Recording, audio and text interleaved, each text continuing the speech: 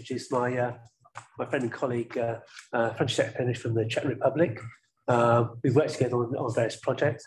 So, uh, so František is going to talk about high temperature corrosion pro uh, protection of zirconium fuel rods in nuclear reactors.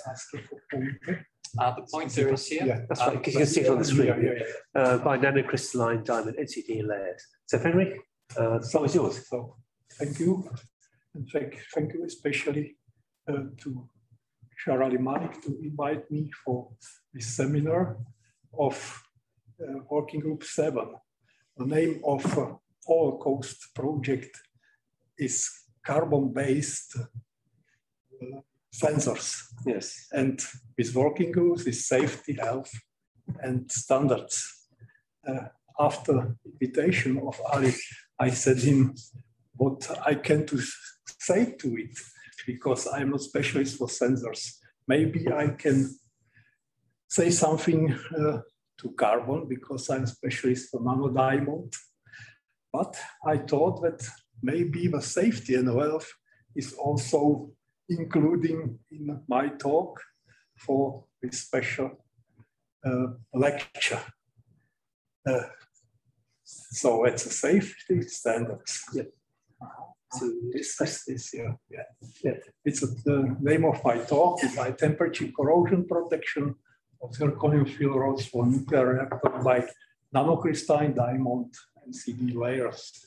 We are a team of my cooperators, especially you know maybe Irina Kine from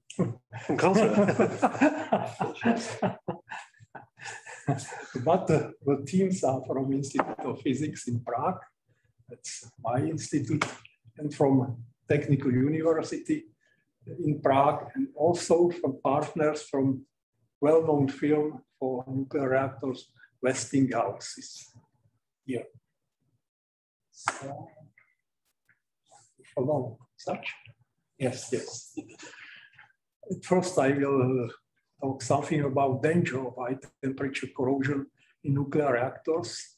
After that, after that I, will describe in an antennas pulse microwave ECVD reactor, uh, which we constructed, and special use of nanocrystalline diamond films for high temperature anti-corrosion protection. And I will give some conclusion publications, patents, and acknowledgement. So at first, maybe all you remember that 10 years ago, uh, ago, the disaster in Fukushima power plant in Japan due to earthquake and tsunami and explosion of power plant in Fukushima. The standard construction of nuclear reactor consists from uh, special rods. Inside of the rods are uh, nuclear fuel from uranium dioxide, such tablets. These uh, rods are from alloy of zirconium. It's a strong ductile material, lightweight steel. There's a lot of very suitable properties for such work inside the reactor.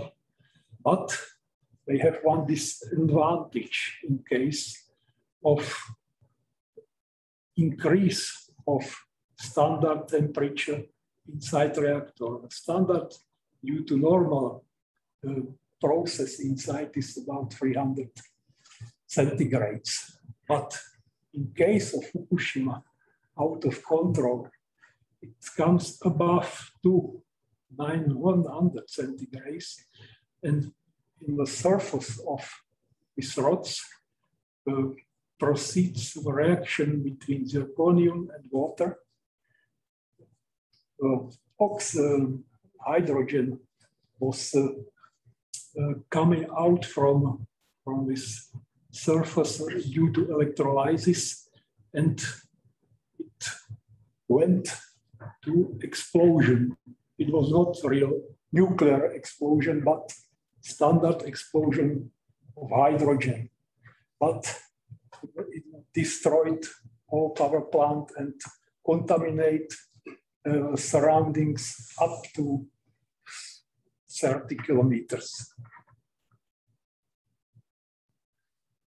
So, and what about connection with this disaster and our work? About, I think, 10 years ago, in my group, we uh, constructed a special apparatus for deposition of nanocrystalline diamond film. It's absolutely our own construction in cooperation uh, with uh, uh, one person from Belgium and one from Dresden. It's constructed for low temperature deposition of nanocrystalline film for large areas. The parameters are to enable pulsed microwave source. This, is some standard but important parameters of this microwave. You can see inside the chamber avalinar antennas and during the process of deposition is this microwave plasma in a inside a mixture of working gases like methane and uh, hydrogen, special use. So from the beginning, we thought only about using of covering of uh, biocompatible films for some biomedical application like a coronary stent or orthoventricle tests like screws. It was successful. You can see that the standard test for nanocrystalline diamond is Raman. And for different materials, we obtained a very similar characterization of this nanocrystalline diamond films.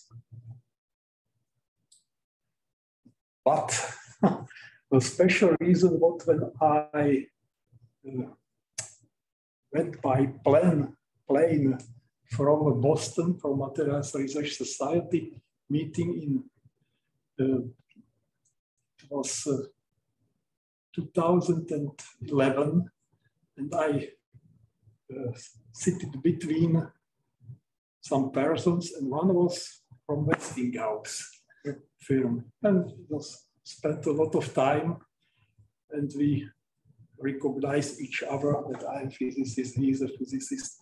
And he uh, taught me about uh, problem with protection of these zircaloy rods. They used a lot of different ceramics, but it was not suitable due to it's not too elastic. And I said maybe we can try our nanocrystalline diamond in mixture with more of graphite. It's relatively very elastic and stable up to 1000 centigrades. And we begin our co-work. This is first try of covering of such zircaloy rods. I have photographs on the surface of covered rods. And we, we began with testing of it in a standard, a little bit more temperature, 300 centigrades, inside reactor. And you can see we have two cases.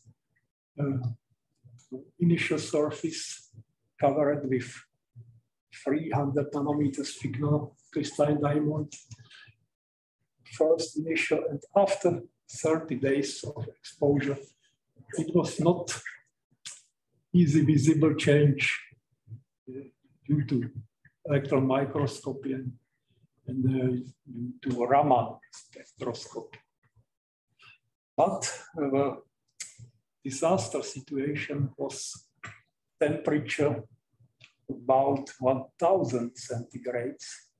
And we did some special measurements, in this case of overheating the hydrogen, uh, uh, water, water evaporation. And you can see, especially from this average of hydrogen concentration inside of the surface of rods that coated rod has maybe 10 times less of hydrogen inside the surface of, of rod. It's visible also for these histograms. And you can see that nanocrystalline diamond strongly protects zirconium alloy against hydrogen penetration inside and to destroying of this rod from the surface. It's visible only also in very good in the cross sections. A is coated the cross section of such rod. This uh, black part is a corrosion of surface. This is uh, coated and uncoated. It's easy to see that uh, the corrosion is many times, maybe five times more thick than in, uh, than in coated zero. This is uncoated, coated. Yeah. The measurement.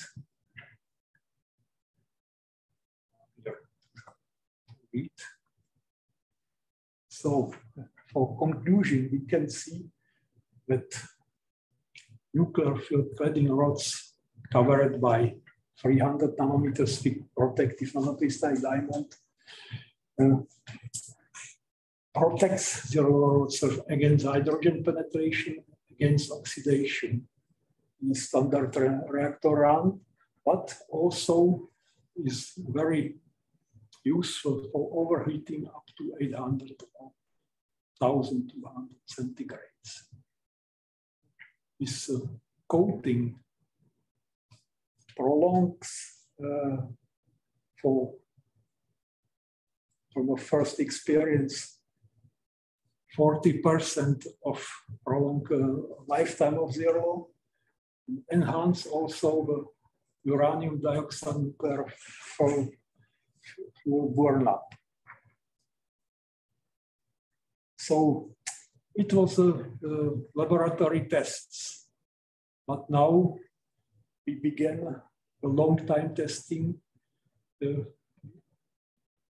using a special Westinghouse reactor in Halden, Norway, because you know Westinghouse is a very uh, well-known firm.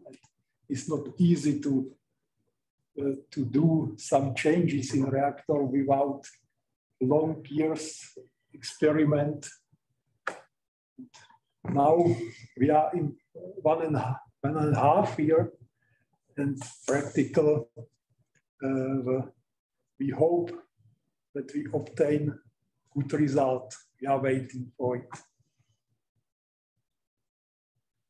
So we are some publication from the beginning of a construction of, of an apparatus to final uh, publication about protection, but also first, but very good step that now we have such protection technology obtained in a uh, 2020 European patent and 2021 US patent. Yeah, acknowledgements for my co-workers. Let's uh, document of European patent, document for US patent for, for this special coating. And thanks for your attention from all my colleagues. Here, apparature is enabled to us to obtain such good nanocrystalline diamond for film because of our first biocompatible application, we thought about several years. It will be the, the main goal of us, but probably such meeting in a plane was many times more effective and successful than the original thought, yeah, idea. So thank you very much for your attention. Thank you.